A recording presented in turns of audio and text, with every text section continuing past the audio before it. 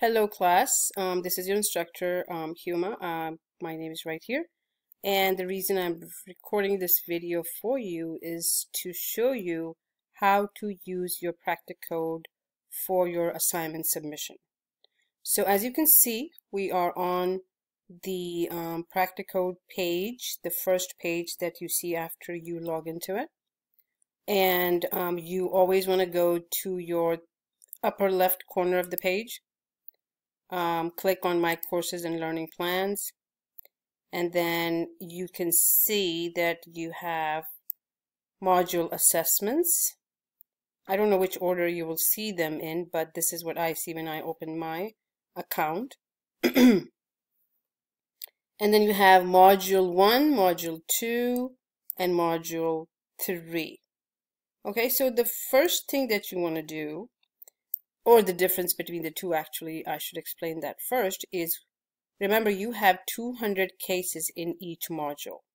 Module 1 200 module 2 200 and then module 3 300 after you finish your module 1 200 cases you're gonna you're gonna attempt the assessment.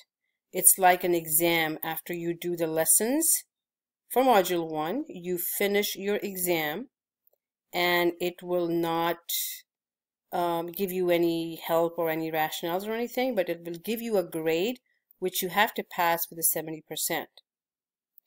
Um, I've sent you a video before with more details, but so I'm not going to explain any further here. Um, the assignment has to be um, the assignment submission every week. You have to submit 20 cases. So let's do an example for me to show you how to do your um, cases in Practicode. So we're here and remember I have done six cases so you can see that here. Um, I can continue if I leave off in the middle anywhere. It will save my case for me to work on it later. So here I am. I can continue working by clicking on the this button right here, resume, resume where you left off. And I see all my cases done right here.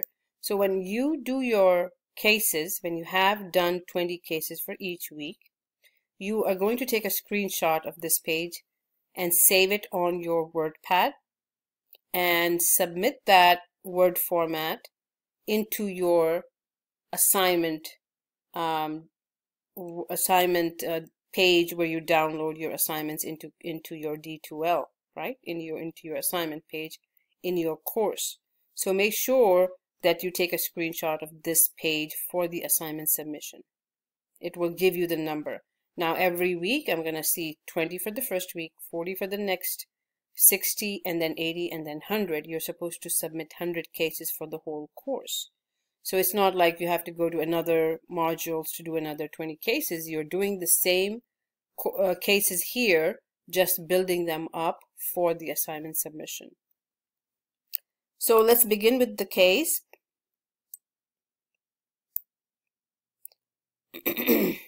I have I clicked onto the number six patient and begin the test. Now this what you see here I'm going to elaborate a little bit and um, PX stands for procedure. The procedure codes come from your CPT book and HCPCS book. Procedure means exactly what did the doctor do for the patient. Let's say he did a drainage of the peritoneal abscess. So what did the doctor do? What is your first word that you want to look up into the CPT book? Drainage. Usually, whatever is the action word is what you're going to use as your main term in the CPT book to find your code. So, drainage of the peritoneal abscess or peritoneal abscess drainage you are looking for the drainage. Under drainage, you are going to find peritoneum and abscess in different orders. So remember, PX is the procedure code that you will find in the CPT books, and you're going to assign it right here under number one. You're then going to move on to the modifier. So what is a modifier? A modifier is something that gives you additional information to enhance the details of your procedure code. Let's say the procedure we just did, excuse me, it's actually, we don't have two peritoneums, so we only have one peritoneum. Any procedure done that you might say was done on the left side of the body, let's say an arm, uh, left arm or right arm. To specify the right and the left, you're going to use a modifier, RT for the right side, LT for the left side. And this is where you're going to put your modifiers. Let's say left.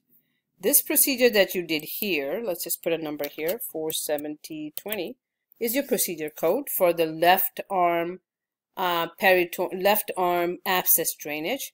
And we're going to put the left LT because the code does not give me that detail.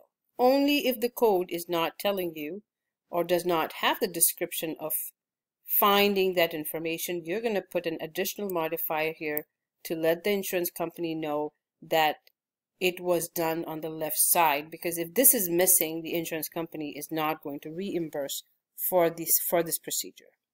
Now we come to come to diagnosis. You see how you have four diagnoses right?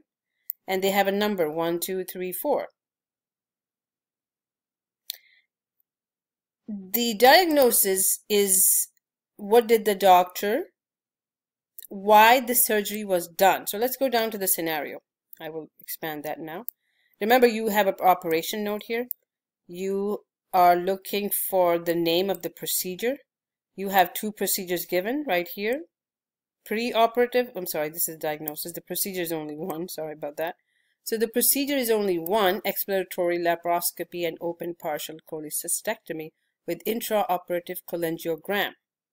So if I ask you, what did the doctor do? Because you're looking for one word in your CPT book, along with the additional words that you will find under the main term, under the main word. What is the word that we want from here? What did the doctor do? He did a cholecystectomy, right? So under the cholecystectomy, you're going to look for exploratory, laparoscopy, partial, cholangiogram. Everything's going to come under it. Or maybe there are two procedures. I'm not sure. We have to discover that. The diagnosis is preoperative and postoperative. We always choose post-operative because that is more significant of what the procedure was, procedure was done for. you will go to your diagnostic ICD-10 book to find the diagnostic code. now, you are going to find the main term again for diagnosis. So what is the diagnosis? What is it that this patient came here for? Cholecystitis right? That is the condition, the diagnosis, and that's what you're going to find in your ICD-10 book.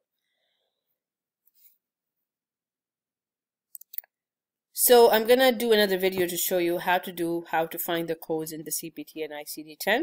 But you're going to put down the code here for ICD-10. ICD-10 codes are three digits followed by an alphabet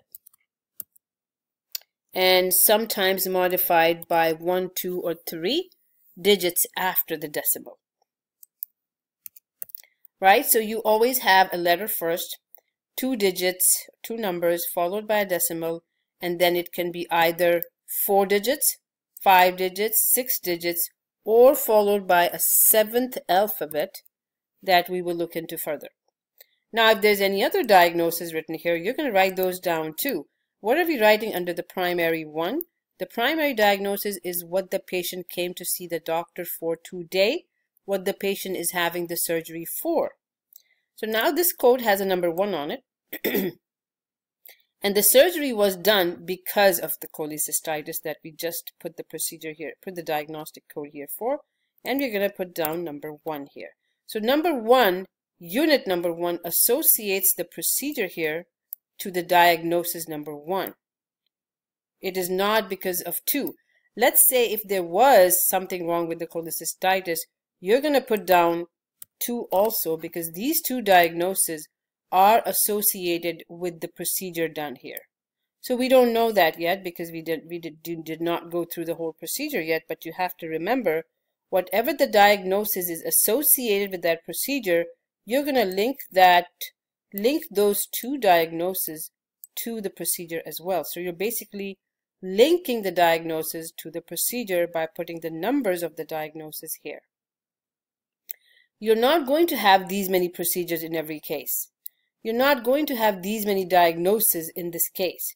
Maybe one or two, or maybe one or two diagnoses, or maybe one or two CPT procedures. Okay, so don't worry about that you have to fill out all of these. These are only here to give you enough space if you need it. And after you finish, okay, you submit, all right? I'm not going to submit because I don't have an answer. But as soon as you submit this case, you will see show answers on the top. Make sure you click on the answers, show answers, and review the um, uh, review the um, what should I call it? the answers, the rationales, explaining you what uh, codes you found and if they were correct or not, and how did how did you find these codes? Okay, so they give you, they explain you the step-by-step -step directions of how to find those codes. And so that will help you look at your mistakes and um, go through the questions again, find those answers in the CPT and the diagnostic ICD book, and review your mistakes. That's the best way to learn coding. So don't worry about getting the wrong answers because you will be checking your answers soon. What I need from your assignment is that you attempted the cases. So once you finish doing this, I'm just going to leave here. You're going to submit and find your answers. You're going to give me the the picture right here. That's it. That's all I need from you is the screenshot of this number here posted as your announce posted as your, as your assignment every week for a grading. So don't miss the grading because you don't know how to code here. Um, you still have to work on answering the questions and learning on your own time, but you have to submit the 20 cases for the assignment submission and getting a full grade. Any questions, please keep me posted.